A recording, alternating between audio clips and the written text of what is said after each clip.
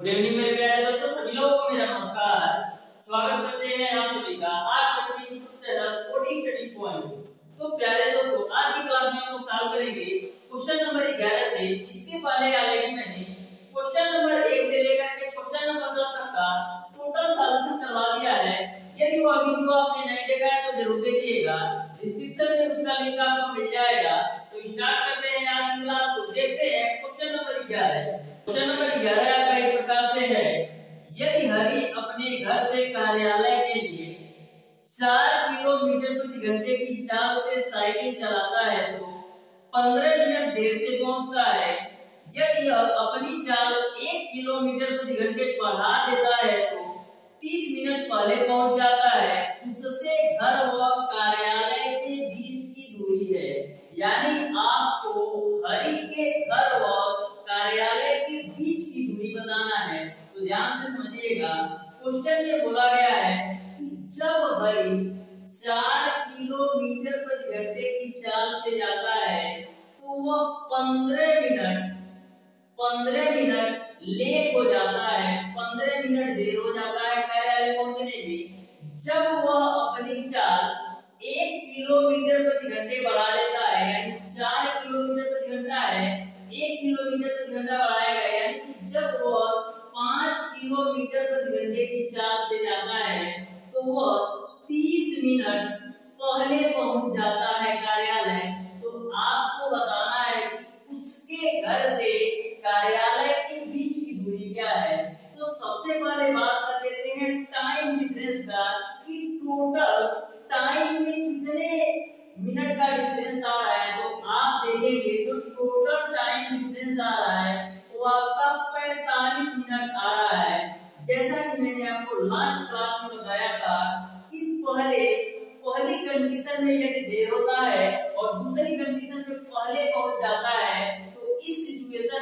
आपका total time होता है, दोनों समयों को एक बराबर होता है। लेकिन यदि आपका पहले भी कंडीशन में देर होता है और दूसरे भी कंडीशन में देर होता है तो ऐसे कंडीशन में जो टोटल टाइम होता है, वो आपका दोनों समयों के अंतर के बराबर होता है। लेकिन यहाँ पर पहले देर हो रहा है और दूसरी बार में पहले ही पहुँच जा रहा है तो ऐसे कंडीशन में जो टाइम डिफरेंस होता है, दोनों समयों के योग के बराबर होता है ओके अब देखिएगा, कभी भी आपको समयांतराल का मान पता हो टाइम डिफरेंस का मान पता हो तो वहाँ पर वो दूरी निकालने का फार्मूला होता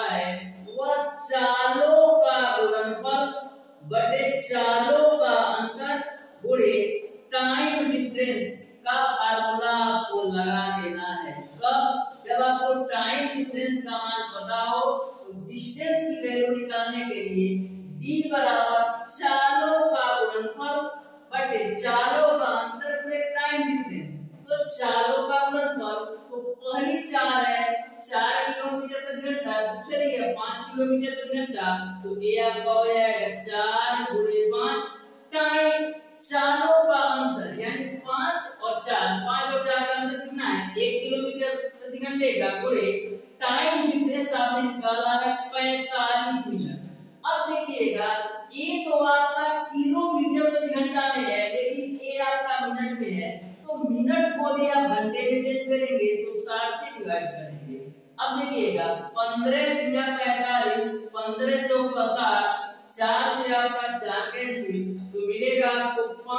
गुड़े तीन यानी कितना मिल जाएगा? पंद्रह किलोमीटर, यानी कि जो उसके घर से कार्यालय के बीच की दूरी है, पंद्रह किलोमीटर है। इस तरीके से इस क्वेश्चन का जो आंसर होगा, वो आपका ऑप्शन नंबर ए सही हो जाएगा। तो ध्यान में रखिएगा, कभी भी आपको टाइम डिफरेंस पता हो, समयांतराल पता हो तो यही फार्मूला आपको लगाना है। D बराबर चालों का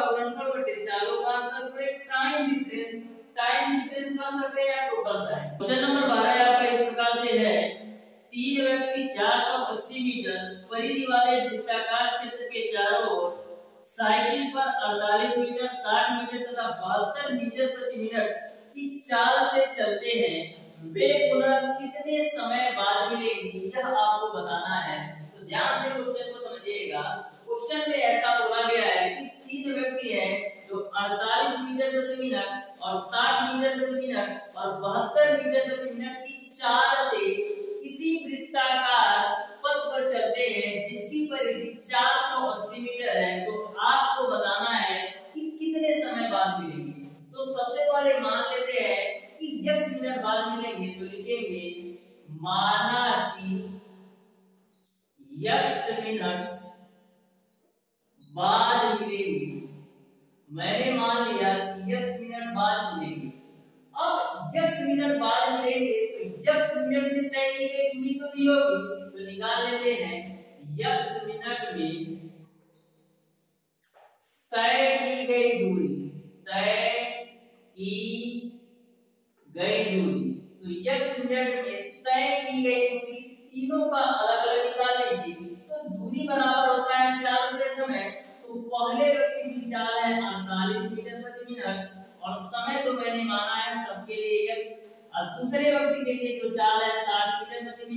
और समय को मैंने माना है x और तीसरे व्यक्ति की चाल है बहत्तर मीटर प्रति मिनट, और इसको भी मैंने समय दे दिया है x यानी कि जो x मिनट में तीनों व्यक्ति द्वारा तय की गई दूरी, वो आपको निकल गया अड़तालीस एक्स साठ एक्स और बहत्तर यहाँ तक आपको समझ में आया होगा।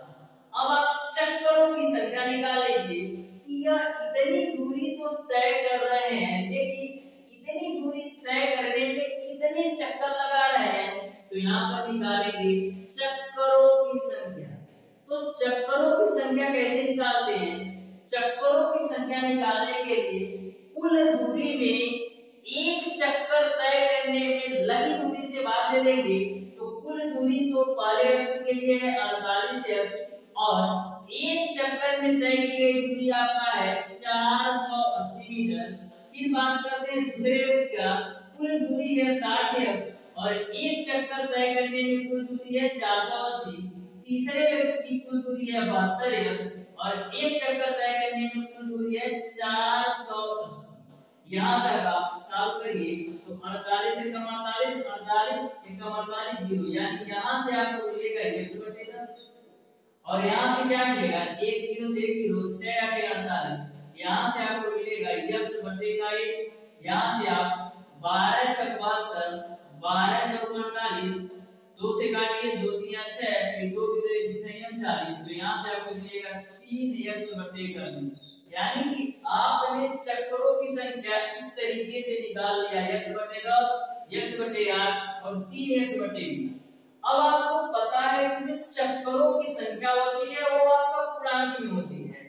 चक्करों की संख्या पूर्णांक में लाने के लिए क्या करेंगे? दस, आठ और बीस का एल्सियम ले लीजिए। तो दस, आठ और बीस का आप एल्सियम लेंगे तो चालीस होगा। तो यहाँ पर आप चालीस से सब में मल्टीप्लाई कर लीजिए चालीस से सब में मल्टीप्लाई इसलिए हो रहा है क्योंकि आपको पता है कि जो चक्करों की संख्या होती है, वो आपका पूर्णांक होती है। तो 10 x बटे 10 में भी मैं 40 से मल्टीप्लाई कर रहा हूँ। और x बटे 1 में भी 40 से मल्टीप्लाई कर। रहा हूँ और 3x बटे 20 में भी मैं 40 से मल्टीप्लाई कर रहा हूँ। अब ये आपका 10 चौक 40 यानी ये आपका हो जाएगा 4x यहाँ पर 8 बटे 40 यानी ये आपका हो जाएगा 5x और यहाँ पर कितना होगा? 20 गुना 40 यानी ये आपका हो जाएगा 6 यानी कि जब 40 मिनट बाद ये तीनों व्यक्ति एक दूसरे से मिलेंगे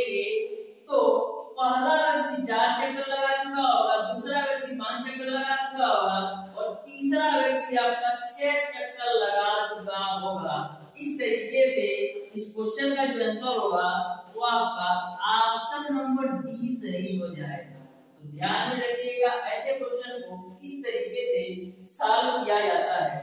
अब देखिएगा क्वेश्चन नंबर तेरह। राकेश, नौ किलोमीटर प्रति घंटे की चाल से साइकिल द्वारा रंजन से मिलने गया। कुछ दूर चलने के बाद उसकी साइकिल खराब हो गई।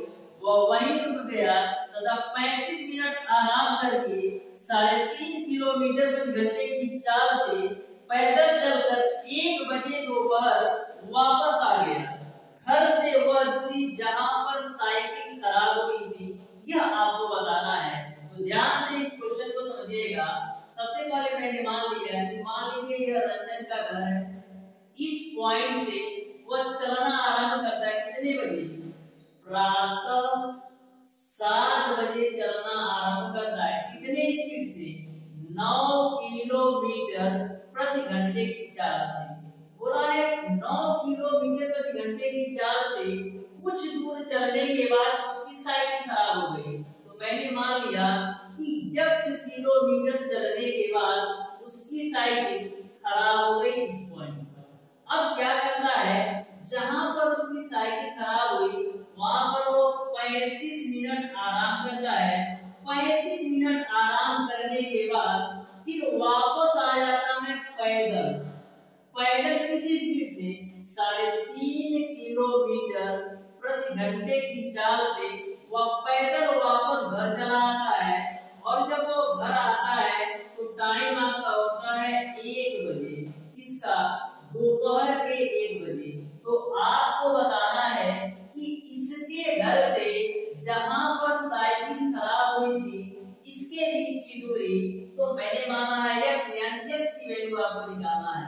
तो देखिएगा, यहाँ इसका घर है, घर से जहाँ पर साइकिल खराब हुई थी, उसकी दूरी यक्स किलोमीटर है तो जहाँ से साइकिल खराब हुई थी, वहीं से भी घर वापस आ गया, यानी घर की दूरी आपका यक्स किलोमीटर ही अब आपका क्वेश्चन सॉल्व हो गया। तो ध्यान से देखिएगा, यदि मैं आपसे पूछी कि यह टोटल काम करने में कि 9 किलोमीटर प्रति घंटे की चाल से जाने में 35 मिनट आराम करने में फिर आराम करने के बाद साढ़े तीन किलोमीटर प्रति घंटे की चाल से घर आने में टोटल कितना टाइम उसका खर्च हुआ? तो कितना खर्च हुआ? सुबह सात बजे से दोपहर के एक बजे, यानी टोटल टाइम इसमें लगा छह घंटा। अब यह छह घंटा कहाँ कहाँ लगा? पहले वो दस किलोमीटर दूरी नौ किलोमीटर प्रति घंटे की चाल से तो दस किलोमीटर दूरी नौ किलोमीटर प्रति घंटे की चाल से चला फिर क्या किया पैंतीस मिनट आराम किया तो पैंतीस मिनट को क्या करेंगे घंटे में चेंज करेंगे क्योंकि जो आपकी चाल है किलोमीटर प्रति घंटा में है तो इस पैंतीस को घंटे में चेंज करने के लिए सात से भाग कर दिया फिर क्या करता है फिर वो साढ़े तीन किलोमीटर प्रति घंटे की चाल से वापस आ जाता है। यानी कि वही एक दूरी वो साढ़े तीन किलोमीटर प्रति घंटे की चाल से पैदल चलकर वापस आ गया, ये सारा काम करने में उसको छह घंटा लगता है। तो इस तरीके से आपका समीकरण तैयार हो गया। अब इसको आप सॉल्व कीजिएगा, जो यक्स की वैल्यू आएगी, वही आपका आंसर होगा। तो सॉल्व कर लेते हैं। तो छह बराबर यक्स बटे नौ प्लस का, इसको आप काटिए। पाँच सत्य पैंतीस अब पाँच भरेंगे हम साठ तो यहाँ से मिल जाएगा, सात बटे का बारह और प्लस का यक्स बटे का तीन दशमलव यहाँ तक सबको समझ में आया होगा? तो छह बराबर यक्स बटे नौ प्लस का सात बटे बारह, ये आपका साढ़े तीन है। तो इसको हम क्या, सात बटे दो लिख सकते हैं? जो आपका साढ़े तीन है, इसको हम सात बटे दो लिख सकते हैं। तो दो क्या होगा? ऊपर जाएगा हम लिख सकते हैं दो यक्स बटे का सात क्योंकि दो से आप सात को काटेंगे तो फिर साढ़े तीन आ जाएगा। मैं आपको क्वेश्चन को सिंपल बनाने के लिए ऐसा किया है। फिर आपका हो जाएगा प्लस का दो एक्स बटे का सात यहाँ से क्या आएगा तो नौ, बारह और सात का ऐसे निकाल लेते हैं। तो नौ, बारह और सात का आप लोग ऐसे निकालिए। तो तीन त्रिक का नौ, तीन, चौक, बारह और सात हो जाएगा। फिर तीन से काट देते हैं तो तीन चार और सात। तो आपको ऐसे मिलेगा, तीन गुड़े तीन गुड़े चार गुड़े सात। तो तीन तीन का नौ और सात चौक कितना होगा? अट्ठाईस। यानी आपको ऐसे मिलेगा, नौ गुड़े अट्ठाईस। तो नौ गुड़े अट्ठाईस करके कितना? नौ अठी बहत्तर को दो, नौ गुना अठारह और सात कितना होगा? पच्चीस। यानी आपने ऐसे निकाल लिया, नौ, सात और बारह का दो सौ बावन। इधर तो आपका हो जाएगा दो सौ बावन इधर आपका सिक्स है ही अब देखिएगा, नौ से दो सौ बावन में भाग दीजिए तो कितनी बार में जाएगा दो सौ बावन में नौ से भाग देंगे तो नौ गुना अठारह बचेगा आपका सात दो नौ अठी बहत्तर यानी कि नौ से आप दो सौ बावन में भाग देंगे तो आपको मिलेगा अट्ठाईस और साल का पहले से है प्लस आपको बारह से भाग देना है दो सौ बावन में बारह गुना चौबीस फिर बारह कम बारह यानी इक्कीस बार में जाएगा तो इक्कीस गुड़े सात हो जाएगा तो यहाँ से इक्कीस गुणे सात हो गया प्लस यहाँ पर सात से भाग देंगे दो सौ बावन में तो सात त्रिक इक्कीस, उसके बाद से सात त्रिक इक्कीस हो जाएगा आपका, उसके बाद से सात छक बयालीस, यानी कि सात का भाग आप दो सौ बावन में देंगे तो छत्तीस आएगा छत्तीस का गुणा दो में करेंगे तो आपको मिलेगा बहत्तर। अब इसको आप आगे साफ़ कीजिए तो छह बराबर अट्ठाईस एक्स प्लस का इक्कीस गुणे सात का मल्टीप्लाई करा लेते हैं तो सात एक कम सात सात गुना चौदह प्लस का बहत्तर एक्स अब देखिएगा, बटे आपका दो सौ बावन है दो सौ बावन का छह में मल्टीप्लाई कराते हैं तो छह गुणे दो सौ बावन बराबर अट्ठाईस और बहत्तर कितना होता है? सौ एक्स प्लस का एक सौ सैतालीस। अब छह का इसमें मल्टीप्लाई कराइए। बारह को दो हासिल बचा एक। छह पच्चीस और एक इक्कीस को एक हासिल बचा तीन। छह दुना बारह, तीन पंद्रह बराबर आपका हो जाएगा सौ एक्स प्लस का एक सौ सैतालीस। अब आपको पंद्रह सौ बारह में से एक सौ सैतालीस घटाना है तो पंद्रह सौ बारह में से एक सौ सैतालीस घटाइए। तो बारह में से सात जाएगा पाँच, दस में से चार जाएगा छह, फिर यहाँ पर आपका चार में से एक जाएगा तीन और एक। यानी कि आपको मिल जाएगा सौ एक्स बराबर तेरह सौ पैंसठ। आपको एक्स की वैल्यू निकालना है तो एक्स बराबर मिल जाएगा आपको तेरह सौ पैंसठ बटे सौ। यानी आपको मिल जाएगा तेरह पॉइंट सिक्स फाइव किलोमीटर। इस तरीके से जो उसके घर से जहाँ पर साइकिल खराब हुई थी, उसके बीच की दूरी तेरह पॉइंट सिक्स फाइव किलोमीटर हो जाएगा। इस तरीके से इस क्वेश्चन का जो आंसर होगा, वो आपका ऑप्शन नंबर डी सही हो जाएगा। अब देखिएगा क्वेश्चन नंबर चौदह। क्वेश्चन नंबर चौदह आपका इस प्रकार से है। एक रेलगाड़ी के 30 किलोमीटर चलने के पश्चात एक दुर्घटना हो जाती है, जिससे अब उसकी चाल पहले की चार बट्टे पाँच हो जाती है। तथा रेलगाड़ी नियत स्थान पर 45 मिनट देर से पहुँचती है। यदि यह घटना 18 किलोमीटर और आगे होती तो वह 36 मिनट देर से पहुँचती। गाड़ी की चाल किलोमीटर प्रति घंटा में होगी। तो ध्यान से इस क्वेश्चन को समझिएगा। यह भी क्वेश्चन आपका का है। आपको गाड़ी की चाल बताना है। तो सबसे पहले मैं मान लेता हूँ कि गाड़ी की प्रारंभिक चाल है वो यक्स है। तो गाड़ी की प्रारंभिक चाल मैंने मान लिया कि यक्स किलोमीटर प्रति घंटा है। अब दुर्घटना के बाद चाल क्या होगा? लिखेंगे, दुर्घटना के बाद गाड़ी की चाल। दुर्घटना के बाद गाड़ी की चाल क्या हो जाएगी? पहले की चाल का, यानी प्रारंभिक चाल का चार बटे पाँच गुना यहाँ तक सबको समझ में आया हो। क्वेश्चन में ऐसा बोला गया है कि 30 किलोमीटर चलने के बाद दुर्घटना हो जाती है, जिससे वह 45 मिनट देर हो जाती है।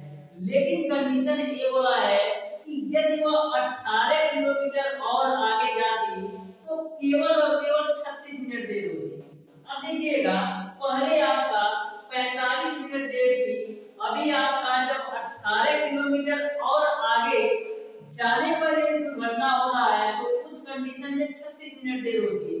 यानी कि जो टोटल टाइम डिफरेंस आ रहा है 18 किलोमीटर की वजह से वो 9 मिनट का आ रहा है।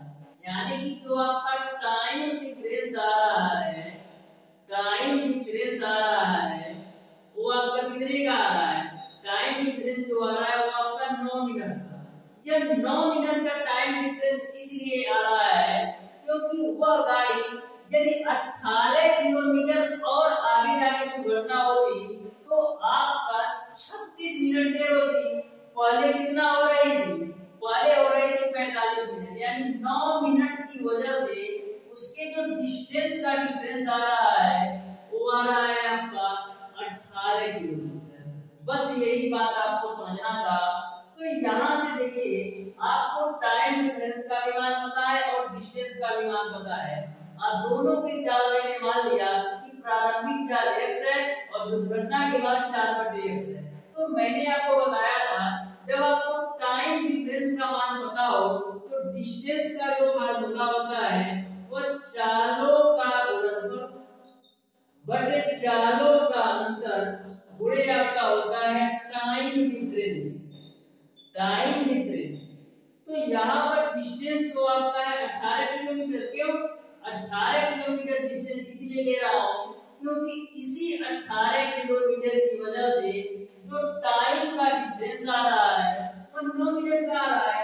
और प्रारंभिक चाल को मैंने इसमें मान लिया है तो वो आपका हो जाएगा यक्स और दूसरी चाल है आपका चार बटे 5 एक्स अब टाइम डिफरेंस निकाल लीजिए तो यक्स में से 4 बटे 5 एक्स घटाइए। तो यक्स में से चार बटे पाँच एक्स लगाएँगे तो क्या मिलेगा? आपको मिल जाएगा पाँच एक्स माइनस चार एक्स डिवाइडेड बाई पाँच इंटू का एक्स तो पाँच एक्स में से चार एक्स लगाएँगे तो एक्स बचेगा बटे पाँच। यानी कि जो टाइम डिफरेंस आया, वो एक्स बटे पाँच के बराबर है। तो ये तो आपका हो जाएगा एक्स बटे पाँच। आपका सॉरी चारों का जो डिफरेंस है वो आपका एक्स बटे पाँच है। अब जो टाइम डिफरेंस है वो आपका कितना है? नौ मिनट अब जो चार मैंने माना है, वो तो मैंने माना है किलोमीटर प्रति आवर में लेकिन जो आपका है टाइम डिफरेंस मिनट में तो इसको भी घंटा में चेंज करने के लिए 60 से भाग करेंगे इस 5 से यह 5 कैंसिल इस x से यह x कैंसिल तो आपको मिलेगा 18 बराबर x गुणे 4 गुणे 9 बट्टे का 60 अब 3 से काटिए 3 3 का 9 3 भी सही आंसर अब चार से काटेंगे तो चार पचे बीस। तो कितना मिल जाएगा यहाँ पर अठारह बचा और नीचे आपका पाँच बचा। तो मिलेगा आपको अठारह गुणे पाँच बराबर यक्स गुणे तीन। यक्स गुणे तीन। अब तीन से काटिए तो तीन छक अठारह तो यक्स की वैल्यू कितना आ जाएगी? तीस किलोमीटर प्रति आवर तो इस तरीके से जो रेलगाड़ी की चाल है, वो आपका तीस किलोमीटर प्रति घंटा हो जाएगा। इस तरीके से आपका ऑप्शन नंबर सी सही हो जाएगा। अब देखिएगा क्वेश्चन नंबर पंद्रह। क्वेश्चन नंबर पंद्रह को आप लोग ध्यान से पढ़िए और सॉल्व करने का प्रयास कीजिए। क्वेश्चन नंबर पंद्रह आपका इस प्रकार से है। एक एक सौ अंठावन मीटर लंबी मालगाड़ी बत्तीस किलोमीटर प्रति घंटे की चाल से दिल्ली से छह बजे प्रातः चलती है। एक दूसरी सवारी गाड़ी जो 130 मीटर लंबी है 80 किलोमीटर प्रति घंटे की चाल से दिन के 12 बजे दिल्ली से ही चलती है। तथा मालगाड़ी का पीछा करती है, सवारी गाड़ी मालगाड़ी को पार करेगी। यानी आपको यह बताना है कि सवारी गाड़ी मालगाड़ी को कब पार करेगी? तो सबसे पहले इसी को ही मान लेते हैं कि माना कि सवारी गाड़ी मालगाड़ी को यक्ष घंटे बाद पार करेगी। तो लिखेंगे, माना कि सवारी गाड़ी मालगाड़ी को मालगाड़ी को यक्ष घंटे बाद यक्ष घंटे बाद पार करेगी। यह मैंने मान लिया कि जो आपकी सवारी गाड़ी है, वह मालगाड़ी को दस घंटे बाद पार करेगी। अब मैंने मान लिया कि सवारी गाड़ी मालगाड़ी को दस घंटे बाद पार करेगी। तो आप लोग ये बताइए कि सवारी गाड़ी को, मालगाड़ी को पार करने में कितनी दूरी तय करना पड़ेगा? तो सवारी गाड़ी को, मालगाड़ी को पार करने के लिए मालगाड़ी द्वारा चली गई दूरी प्लस मालगाड़ी की लंबाई प्लस सवारी गाड़ी की लंबाई। जब यह तीनों दूरी कवर करेगा तो ही आपकी सवारी गाड़ी मालगाड़ी को पार करेगी। यानी कि सवारी गाड़ी को मालगाड़ी को पार करने के लिए मालगाड़ी द्वारा चली गई दूरी, मालगाड़ी की लंबाई और सवारी गाड़ी की लंबाई, यह तीनों कवर करना पड़ेगा तो यहाँ पर आपका हो जाएगा सवारी गाड़ी द्वारा चली गई दूरी। चली गई दूरी जो होगा, वह बराबर होगा मालगाड़ी द्वारा चली गई दूरी। मालगाड़ी द्वारा चली गई दूरी, फिर मालगाड़ी द्वारा चली गई दूरी के साथ साथ मालगाड़ी की लंबाई और सवारी गाड़ी की लंबाई कवर करना पड़ेगा। यहाँ पर मालगाड़ी की लंबाई, मालगाड़ी की लंबाई प्लस का सवारी गाड़ी की लंबाई, सवारी गाड़ी की लंबाई। इतना दूरी जब कवर करेगा तो ही आपकी सवारी गाड़ी मालगाड़ी को पार कर पाएगी। अब बात करते हैं, सवारी गाड़ी द्वारा चली गई दूरी। तो दूरी बराबर होता है चाल गुणे समय सवारी गाड़ी की जो चाल है वो आपका 80 किलोमीटर प्रति घंटा है। और मैंने समय को माना है x तो 80 गुणे यानी कि सवारी द्वारा जो चली गई दूरी होगी, वो 80 x के बराबर होती है। यहाँ से आपका, सवारी गाड़ी द्वारा चली गई दूरी 80 x के बराबर हो गई। अब मालगाड़ी द्वारा चली गई दूरी तो मालगाड़ी की जो चाल है वो आपका 32 किलोमीटर प्रति घंटा है। चाल अपने समय तो पकड़ने में तो समय से ले रहा है। और जो दोनों के चलने के समय में डिफरेंस है, वो आपका छह घंटे का है। क्योंकि सवारी गाड़ी, सुबह सवारी गाड़ी दोपहर के बारह बजे चलती है और मालगाड़ी सुबह के छह बजे। यानी कि इन दोनों के दिल्ली से जो चलने का टाइम डिफरेंस है, छह घंटा प्लस का मालगाड़ी की लंबाई इसमें दे रखा है। मालगाड़ी लंबाई दे रखा है, एक सौ अंठावन मीटर तो एक सौ अंठावन मीटर को किलोमीटर में चेंज करने के लिए क्या करेंगे? एक सौ अंठावन मीटर को किलोमीटर में चेंज करने के लिए एक हज़ार से भाग देंगे। तो ये आपका आएगा ज़ीरो पॉइंट वन फाइव यह किलोमीटर में चेंज करने की ज़रूरत इसलिए है क्योंकि जो सारी वैल्यू आपको दी गई है वो किलोमीटर प्रति घंटा में है। अब आपकी सवारी गाड़ी की लंबाई दे रखा है। सवारी गाड़ी की लंबाई आपको दे रखा है। वो आपको दे रखा है 130 मीटर। 130 मीटर को किलोमीटर में चेंज करेंगे तो 0.130 अब इसको सॉल्व कीजिए तो यहाँ से आपको मिलेगा 80x बराबर। 32 गुणे x आपका होगा 32x प्लस का बत्तीस में छह कराइए तो छह गुना बारह छह तीन का अठारह एक उन्नीस प्लस का इन दोनों को आपस में जोड़िए तो आठ ज़ीरो आपका आठ होगा। पाँच और तीन आपका आठ होगा एक एक दो होगा, यानी zero point two eight eight हो जाएगा। यहाँ से आप x की वैल्यू निकालना है तो x को एक तरफ़ करते हैं तो मिलेगा आपको अस्सी एक्स माइनस का बत्तीस एक्स बराबर एक सौ बानवे प्लस का zero point two eight eight तो 80 में से 32 घटाइए 10 में से दो जाएगा 8 7 में से तीन जाएगा 4 यानी 48 x बराबर कितना मिल जाएगा? 192.288 यहाँ से आप की वैल्यू निकाल लीजिए। जो की वैल्यू आएगी, वही आपका आंसर होगा। क्योंकि मैंने को माना था कि पकड़ेगी। तो यहाँ से आप लोग आगे लीजिएगा।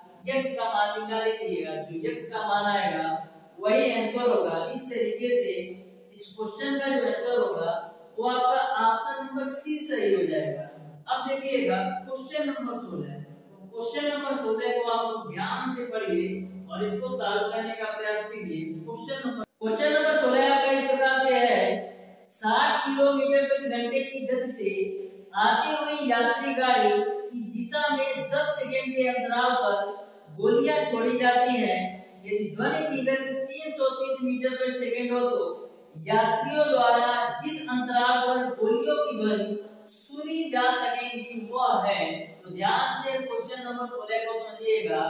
क्वेश्चन नंबर 16 में जो आपको गोली की चाल दे रखा है, जो आपको गोली की चाल दे रखा है, वो आपको दे रखा है 330 मीटर पर सेकंड।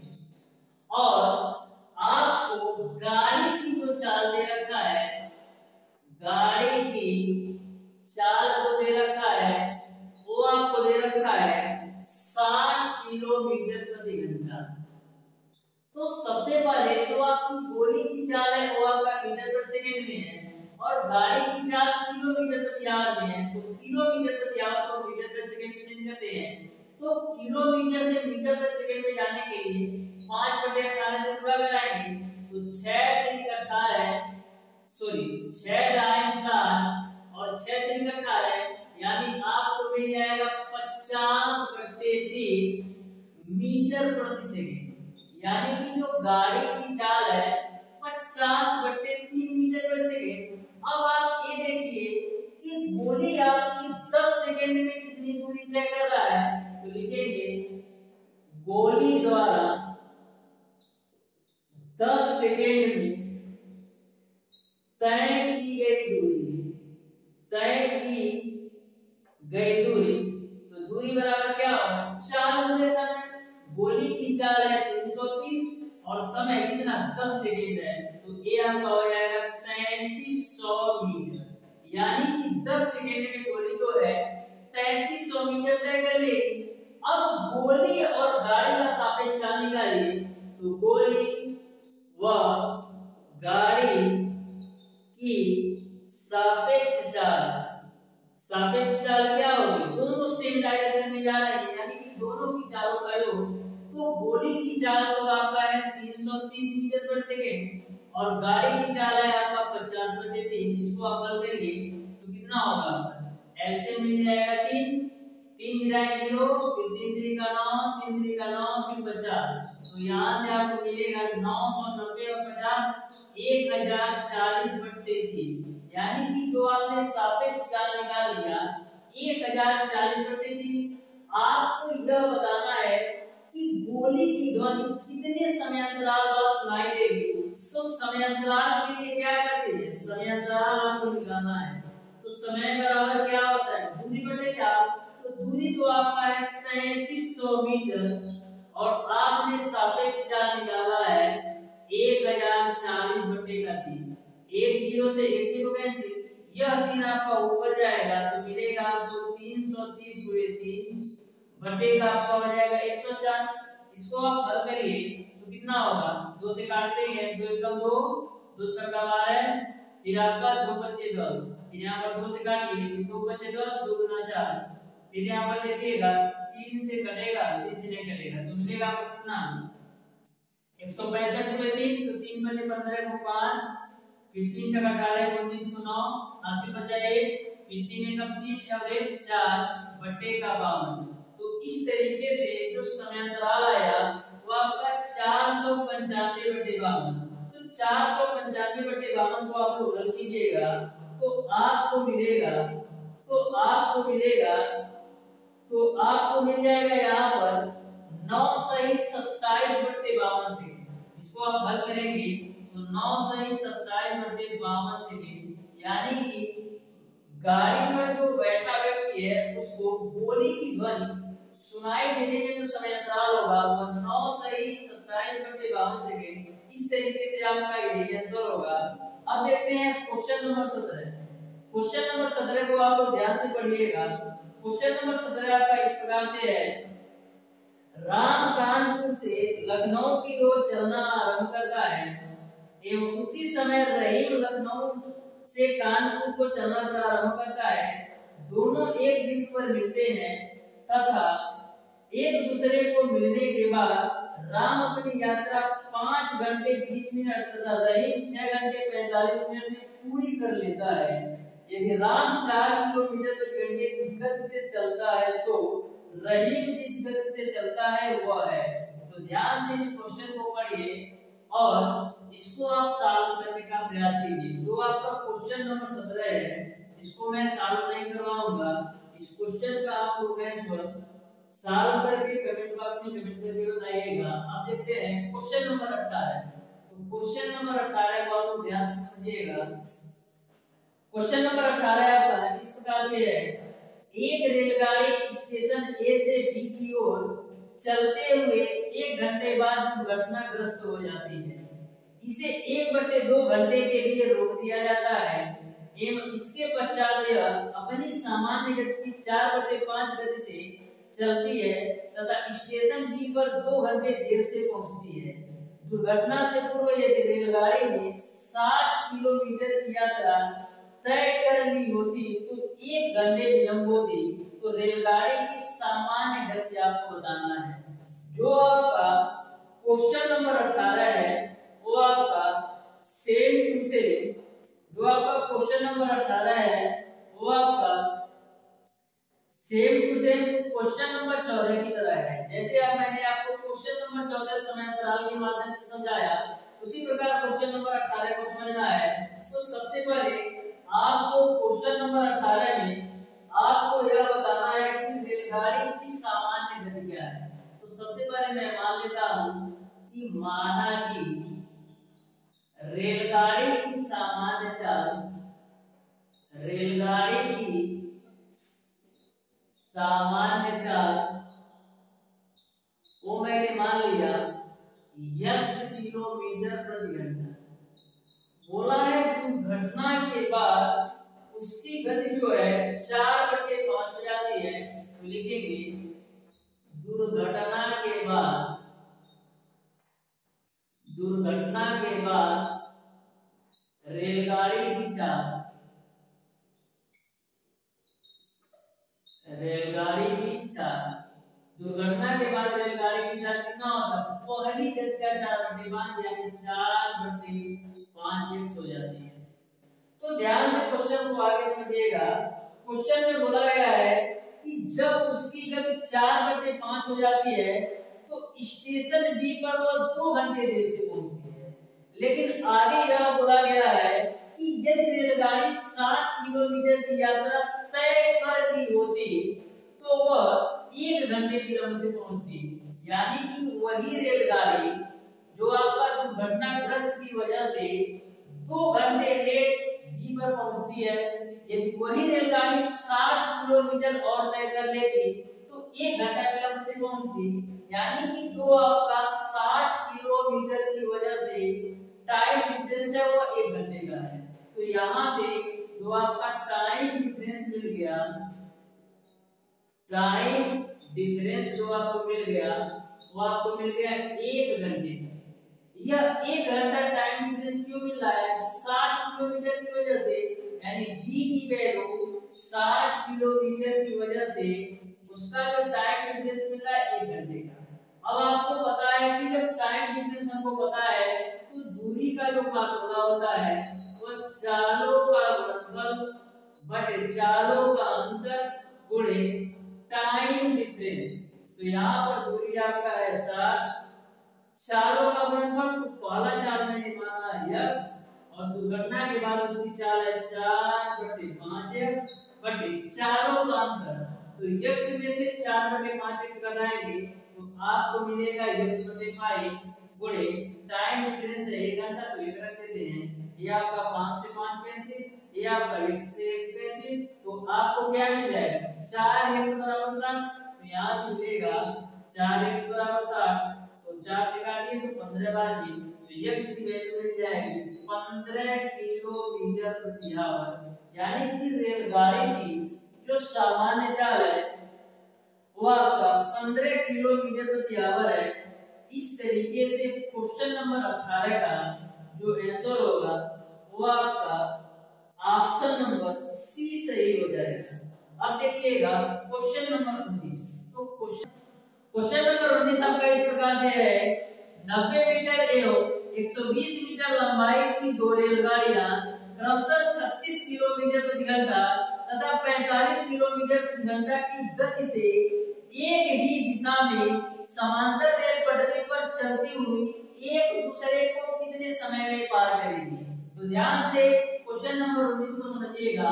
क्वेश्चन नंबर उन्नीस में बोला है कि दो रेलगाड़ियाँ हैं, जिसमें पहली रेलगाड़ी की चाल 36 किलोमीटर प्रति आवर है और दूसरी रेलगाड़ी की चाल 45 किलोमीटर प्रति आवर है।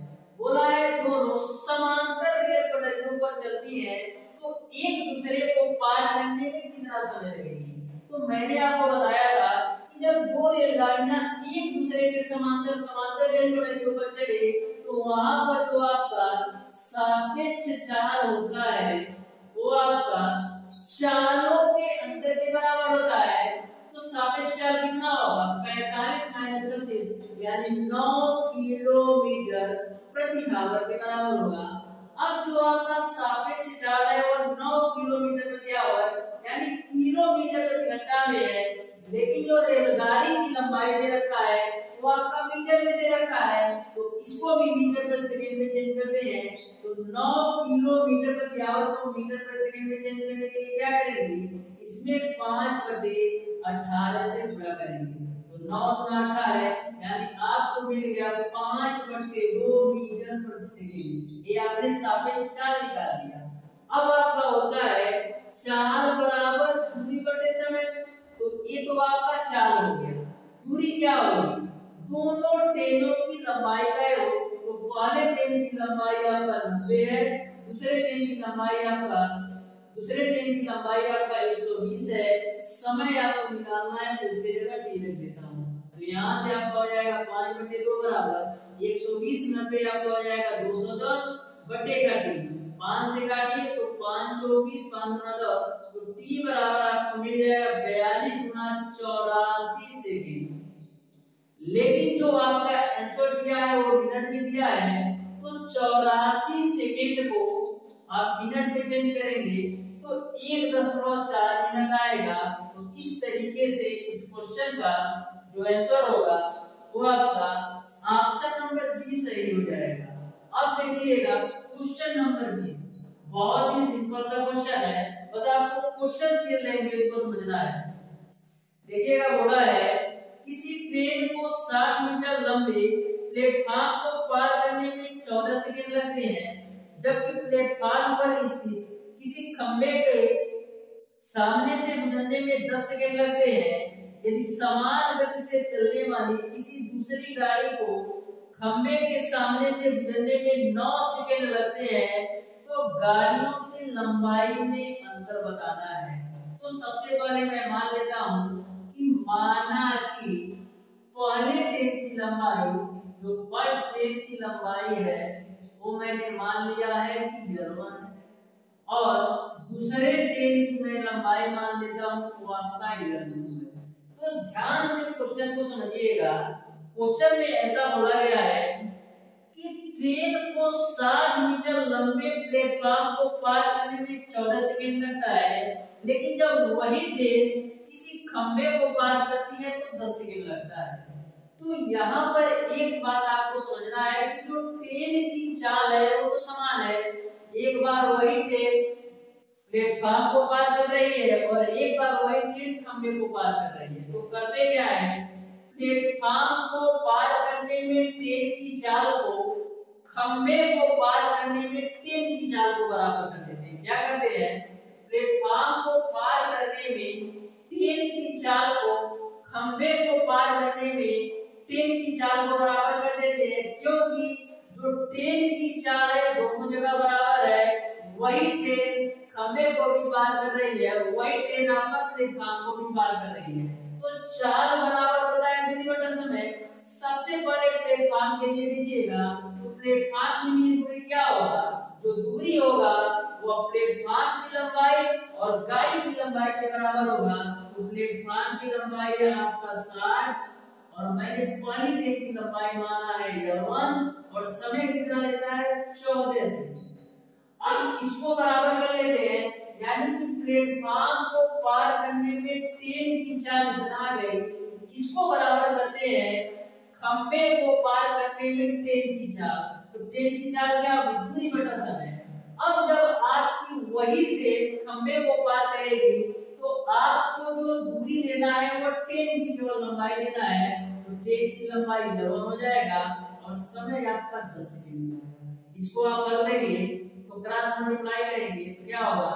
दस का गुणा साठ में तो छह सौ हो जाएगा, प्लस का टेन इलेवन बराबर आपका हो जाएगा चौदह इलेवन अब चौदह में से दस इलेवन घटाइए तो मिलेगा आपको चार इलेवन बराबर छह सौ। तो इलेवन बराबर कितना मिल जाएगा? छह सौ बटे चार, यानी कि आपको मिल जाएगा एक सौ पचास मीटर। तो इस तरीके से पहले ट्रेन की लंबाई आपने निकाल दिया एक सौ पचास मीटर। अब जब हमको पहले ट्रेन की लंबाई पता चल गया तो पहले कंडीशन में या दूसरे कंडीशन में ट्रेन की लंबाई रख करके ट्रेन की चाल भी तो पता कर सकते हैं। तो लिखेंगे ट्रेन की चाल। ट्रेन की चाल क्या होगी? दूरी बटा समय तो यदि आप प्लेटफॉर्म के लिए लेंगे तो भी आपका चाल वही आएगा यदि आप खंबे के लिए लेंगे तो भी आपका चार वही रहेगा तो यहाँ पर हम प्लेट प्लेटफॉर्म के लिए लेते हैं। तो टेन की चार बराबर दूरी बटा समय तो यह जो खंबे को प्लेटफॉर्म को पार करती है तो दूरी क्या है? साठ, यानी प्लेटफॉर्म की लंबाई और L1 का मान आपने निकाला है 150 और समय आपको पता है 14 सेकंड। तो इसको सॉल्व करेंगे तो आपको टेन की चार पता चलेगा। 150 और 60 कितना होता है? 210 बटे का 14 14 एकम 14 14 पच्चीस, सत्तर। यानी टेन की जो चाल मिल गई, वो आपका 15 मीटर प्रति सेकंड यानी कि जो आपकी पहली गाड़ी की जितनी चाल है, उतनी ही चाल आपकी दूसरी गाड़ी की चाल है, और दूसरी गाड़ी आपको खंबे को पार करती है तो नौ सेकंड लगता है। तो दूसरी गाड़ी के लिए चार बराबर क्या हो जाएगा? दूरी बटे का समय तो जो दूसरी गाड़ी की चाल होगी, वो पहली गाड़ी की चाल के बराबर है, यानी यहाँ पर भी आपका पंद्रह आएगा। दूरी आपको दूसरी गाड़ी की मैंने माना है, यानी दूसरी गाड़ी की लंबाई में क्या होगा? ये तो होगा, क्योंकि दूसरी गाड़ी खंबे को पार कर रही है तो टोटल जो दूरी होगी, वो दूसरी गाड़ी की लंबाई के बराबर होगी, यानी कि L2 के बराबर होगी। और समय आपका है, समय आपका है 9 सेकंड। तो यहाँ से आप L2 की वैल्यू निकालेंगे तो कितना आएगा? 15 नमा 135 मीटर। तो इस तरीके से पहले गाड़ी की लंबाई 150 मीटर और दूसरे गाड़ी की लंबाई 135 मीटर आ गया। अब आपको बताना है कि दोनों गाड़ियों के लंबाई में अंतर कितना है? तो दोनों गाड़ियों के लंबाई में अंतर कितना है? पंद्रह मीटर का। इस तरीके से इस क्वेश्चन का जो आंसर होगा वो आपका ऑप्शन नंबर ए सही हो जाएगा। उम्मीद करते हैं, प्यारे दोस्तों, यह क्वेश्चन आपको समझ में आया होगा। आज की क्लास में मैंने आपको सॉल्व कराया क्वेश्चन नंबर 11 से लेकर के क्वेश्चन नंबर 20 तक का सॉल्यूशन यदि आपको किसी भी क्वेश्चन में कोई भी डाउट या कोई भी कंफ्यूजन हो तो आप उसे कमेंट बॉक्स में कमेंट करके ज़रूर बताइएगा। यदि वीडियो अच्छा लगा हो तो वीडियो को लाइक और चैनल को सब्सक्राइब ज़रूर कीजिएगा। मिलते हैं नेक्स्ट क्लास में, तब तक के लिए धन्यवाद।